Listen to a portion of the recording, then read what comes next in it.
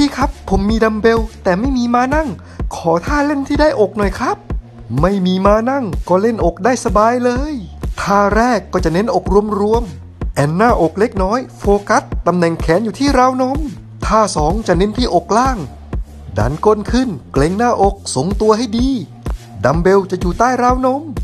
ต่อไปจะเป็นท่า fly กางแขนออกด้านข้าง ฝ่ามือเข้าหากัน โฟกัสอกเน้นๆ ท่านี้จะเน้นอกด้านใน ดัมเบลชิดเข้าหากัน แล้วดันขึ้นลง ต่อที่ท่าสุดท้าย ท่านี้จะได้อกรวมและอกด้านใน ตอนดันขึ้น ให้หมุนข้อมือสันมือเข้าหากันล้ามากเลย